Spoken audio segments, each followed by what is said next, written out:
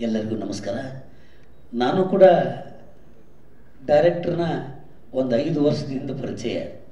ಅವರು ನಮ್ಮ ನಾಟಕ ಕಂಪ್ನಿ ಎಲ್ಲೆಲ್ಲಿ ನಡೀತೋ ಅಲ್ಲಲ್ಲಿ ಬರೋರು ಬಂದು ಈ ಸಬ್ಜೆಕ್ಟನ್ನು ರಾಜುವ್ರ ಹಿಂಗೆ ಮಾಡ್ಬೇಕಂತ ಮಾಡೀನಿ.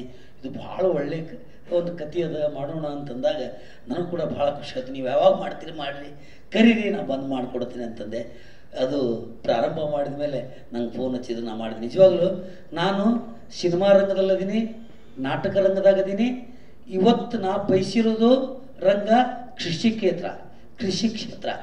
ನನಗೆ ರಂಗಭೂಮಿಯಿಂದ, ಸಿನಿಮಾ ರಂಗದಿಂದ ಒಂದು ಇಪ್ಪತ್ತು ಎಕರೆ ಜಮೀನು ಮಾಡೀನಿ.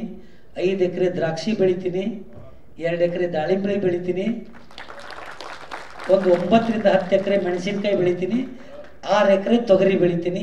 ಇದು ಪ್ರತಿ ವರ್ಷ ನನ್ನ ಕೃಷಿ ಕ್ಷೇತ್ರದಲ್ಲಿ ನಾನು ಕಂಡುಕೊಂಡಂಥ ಕೆಲಸ ಇದು. ಇದು ನಿಜವಾಗ್ಲೂ.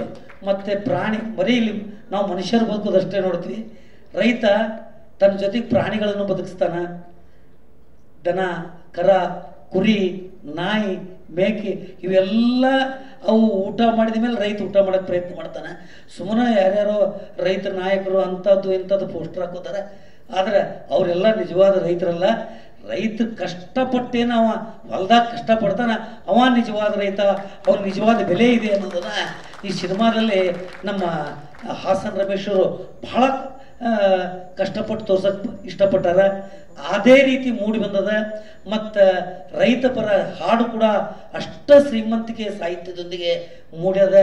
ನಾನು ಹಾಡು ಮಾಡಿದ ಕೂಡಲೇ ನನಗೆ ತಂದು ಕೇಳಿಸ್ಯಾರ ನಾನು ಕೇಳೀನಿ. ಹಾಡಿನ ಸಾಹಿತ್ಯದ ಬಗ್ಗೆ ನನಗೂ ಸ್ವಲ್ಪ ಸ್ವಲ್ಪ, ಯಾಕಂದ್ರೆ ಸ್ವಲ್ಪ ಸ್ವಲ್ಪ ಭಾಳ ಇಲ್ಲ. ನಾನು ಒಂದು ಎಂಟತ್ತು ನಾಟಕಗಳು ಬರ್ತೀನಿ ಒಂದಿಷ್ಟು ಹಾಡುಗಳನ್ನು ಬರ್ದೀನಿ. ಆದ್ರೆ ನನ್ನ ನಾಟಕ ಕ್ಯಾಸೆಟ್ ಆದಾಗ ಹಂಸಲೇಖ ಅವ್ರದ್ದೇ ಟೈಟಲ್ ಸಾಂಗ್ ಅಂದ್ರೆ ನಾಂದಿ ಹಾಡು ಇಡಬೇಕಂತ ನಾನು ಬಯಸ್ತವ ನಾನು. ಅವ್ರದೇ ಹಾಡು ಮಾ ಅವ್ರ ಕಡೆಯಿಂದನೇ ಸಾಹಿತ್ಯ, ಸಂಗೀತ ನನ್ನ ಕಂಪ್ನಿಗೆ ನಾಂದಿ ಹಾಡು ಮಾಡಿಸಿ ಅವರ ಹೆಣ್ಮಕ್ಳ ಕಡೆಯಿಂದನೇ ಅಂದ್ರೆ ಶ್ರೀಮತಿಯವ್ರ ಕಡೆಯಿಂದಲೇ ಆ ಹಾಡು ಹಾಡಿಸಿದ್ದು. ನನಗೆ ಈಗ ಕೂಡ ನನ್ನ ಕ್ಯಾಸೆಟ್ಗಳಲ್ಲಿ ಕೇಳ್ತಾರೆ ಕಲಿಯುಗಳು ಕರ್ನಾಟಕದ ಕ್ಯಾಸೆಟ್ಗಳಲ್ಲಿ. ಹೀಗಾಗಿ ಇವತ್ತು ಹಾಸನ್ ರಮೇಶ್ ಅವರು ಈ ರೈತ ಪರವಾದ ಸಿನಿಮಾ ನೋಡಿ ಬಿಟ್ಟಿದ್ರೆ ಅಣ್ಣವ್ರದ್ದು ಅದು ಬಿಟ್ಟರೆ ಬಂಗಾರ ಮನುಷ್ಯ ಬಿಟ್ಟರೆ ಮತ್ತೆ ಯಾವ ಸಿನಿಮಾನು ನಾವು ರೈತವಾದ ರೈತ ಪರವಾದ ಸಿನಿಮಾಗಳು ಅಷ್ಟು ಕಾಳಜಿ ವಹಿಸಿ ಮಾಡಿದ ಸಿನಿಮಾಗಳು ಯಾವ ನೋಡಿರಲಿಲ್ಲ. ನಿಜವಾಗಲೂ ಈಗ ಇದು ಕೂಡ ಅದೇ ಥರ ಮೂಡಿ ಬರಲಿ. ಇದು ಕೂಡ ಎಲ್ಲ ಕಡೆ ಯಶಸ್ವಿ ಗಳಿಸ್ಲಿ.